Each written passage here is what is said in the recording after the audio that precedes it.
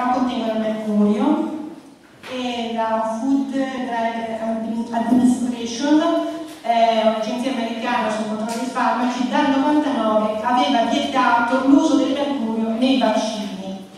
L'EMEA, agenzia europea che esortava dal 99 gli Stati membri a eliminare dal proprio territorio il vaccino del mercurio. In Italia, giugno del 99, erano presenti eh, vaccini col mercurio e anche quelli senza, però quelli senza era molto difficile ottenerli. Allora dire una cosa, Veronesi aveva detto che entro il 2007 in Italia sarebbero stati eliminati i vaccini. Questo non è successo. Continuano a esserci con il mercurio, vaccini con il mercurio, scusate. Ho dimenticato vaccini con il mercurio. No, l'amalgama dentale ad esempio il mercurio è stato abolito per l'amalgama dentale. Nei vaccini invece il mercurio continua ad esserci. E in quanto anche in America, detto che fino al 2018 c'è un accordo tra aziende per continuare a produrlo, dove questa azienda dà eh, venditore del brevetto il 10%, questo fino al 2018. Io direi che a questo punto eh, lascerei la, la parola all'avvocato eh, che potrà spiegarvi tutta la parte legale, l'avvocato Agrimuti che fa parte della nostra associazione. Vi ringrazio.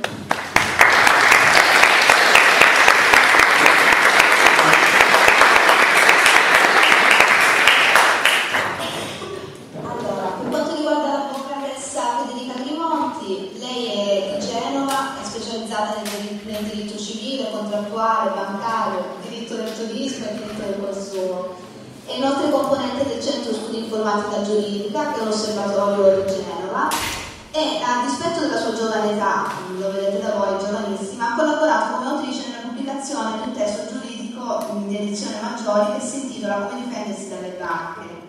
Inoltre da quattro anni collabora con l'associazione Voglio Vivere svolgendo attività di consulenza legale e attività giudiziali. Io cedo la parola alla competenza.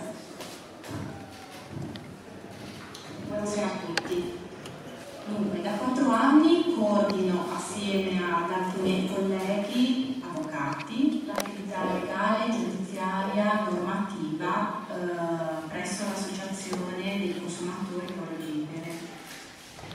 Il tema della vaccinazione è oggi un tema molto caldo, molto frequente e di grande interesse, un tema che noi affrontiamo come eh, in qualità di legale dell'associazione in modo molto aggressivo, in maniera molto forte. Infatti propone un atteggiamento difensivo, informativo e di approfondimento e di eh, autotutela legale che sono molto chiari e diretti. In questi ultimi tempi le domande sono sempre quelle più comuni e eh, sono sempre più serrate, cioè quelle che cosa faremo nel caso in cui questa pandemia eh, questa bufala mediatica eh, diventerà una vaccinazione obbligatoria. Quindi cosa faremo? Perché tut a tutt'oggi non è una vaccinazione obbligatoria. Ad oggi possiamo dire che 12-13 governi europei, cui, tra cui anche l'Italia, eh, hanno dichiarato formalmente di non rendere obbligatoria la eh, vaccinazione, non rendere obbligatoria.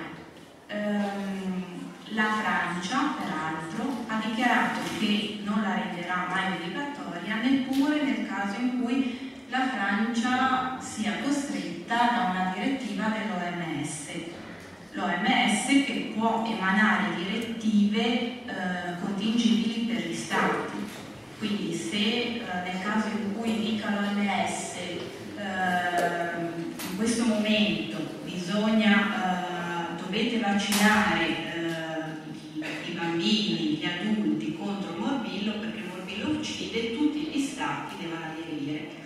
quindi sono obbligati ad obbedire.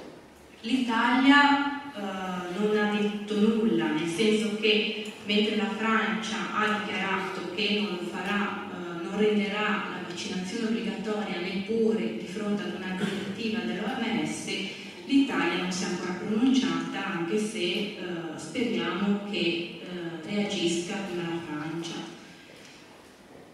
Diciamo che eh, il messaggio ehm, trasversale mediatico è arrivato al di là della normativa, è arrivato al di là dei provvedimenti normativi, dei provvedimenti di legge ed è arrivato subito in mezzo tra la gente. Ora, eh, chi gestisce come noi, legali, la parte normativa, cosa può dire? Può dire che l'obiezione eh, nostra, l'obiezione dell'associazione, l'obiezione dei legali che lavorano per l'associazione rimane sempre la stessa, ovvero eh, siamo duri, siamo rigorosi contro la, eh, la vaccinazione obbligatoria, quindi siamo contro l'obbligo, contro l'obbligo di tutte le vaccinazioni, tutte quelle che riteniamo dover evitare.